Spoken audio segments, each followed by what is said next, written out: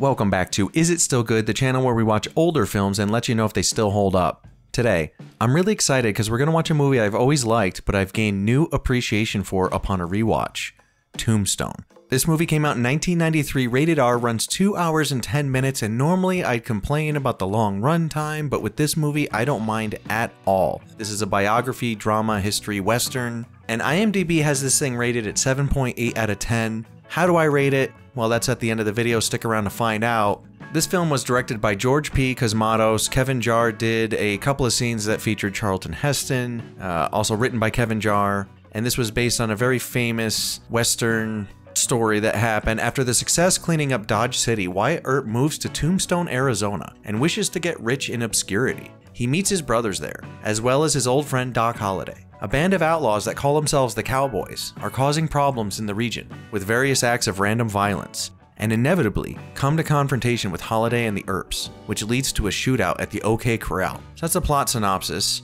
It's rated R for violence, and there's so much trivia to this one. I mean, you can go down the rabbit hole looking up factoids about Tombstone all day. There was actually two films. Uh, Kevin Costner came out with a movie at the same time as this, pretty much. And I haven't seen it, personally. This one stars Kurt Russell as Wyatt Earp. He's very Kurt Russell-y in this. Val Kilmer is Doc Holliday. Sam Elliott is Virgil Earp, Wyatt's older brother. And Bill Paxton is Morgan Earp, Wyatt's younger brother. Powers Boothe is excellent as Curly Bill Brocius. He's the leader of the cowboy gang. I believe he was in Sin City too. Michael Biehn, who was normally a very lovable dude in Aliens and Terminator 1, he was very charismatic. I always thought he should have a bigger career than he did. Plays an outstanding villain in Johnny Ringo in this. Pretty stacked cast, actually. A lot of people are in this. I just started watching it on a lark. I just figured, okay, everybody likes Tombstone, let me watch it. And I had the inkling that this film might make my Hall of Fame list. And upon the rewatch, it actually does. It really, really does. I'm kind of giving away how much I liked it. I'm not going to give you a number score yet, but I just will say this.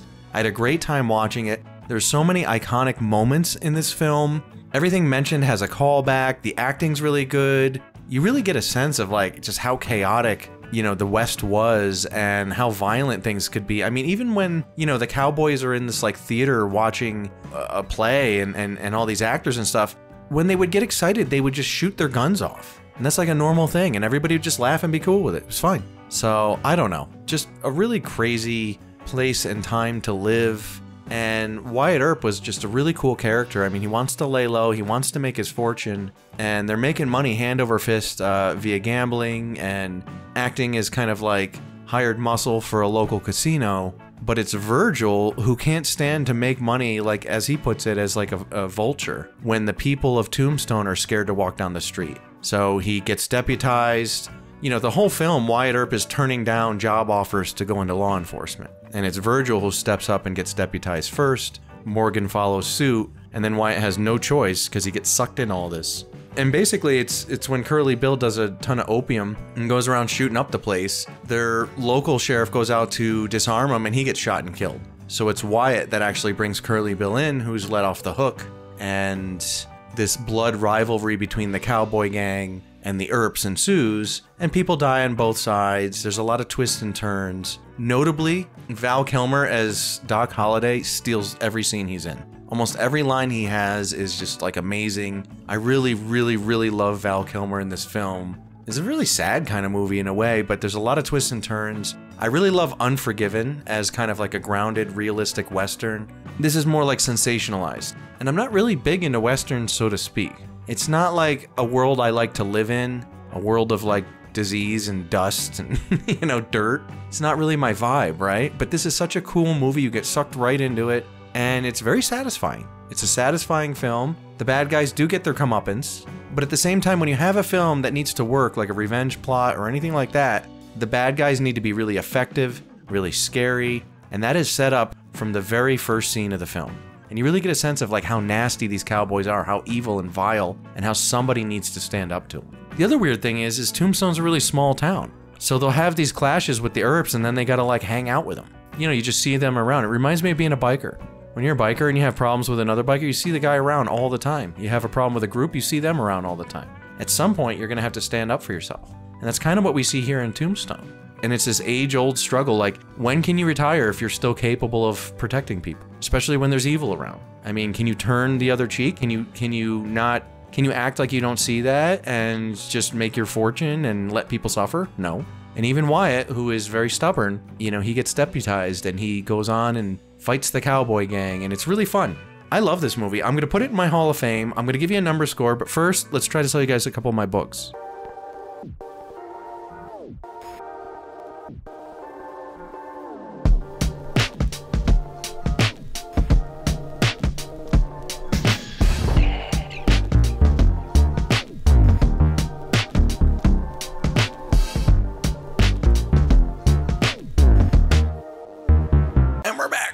Hopefully, you guys bought a couple of my novels. And remember, the audiobook for Unkillable Joe is on Audible right now. Go check it out. We spared no expense. Narrator crushed it. You're going to love it. Okay, Tombstone. What's my number score for Tombstone?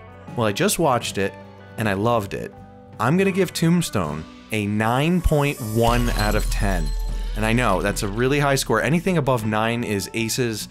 This is going in my Hall of Fame playlist. Reference that if you want to see my other films that have made it. And I think this is just one of those movies that almost anybody can like. But if you're into revenge stories, you're into westerns, you're especially going to love this one. It's a treat.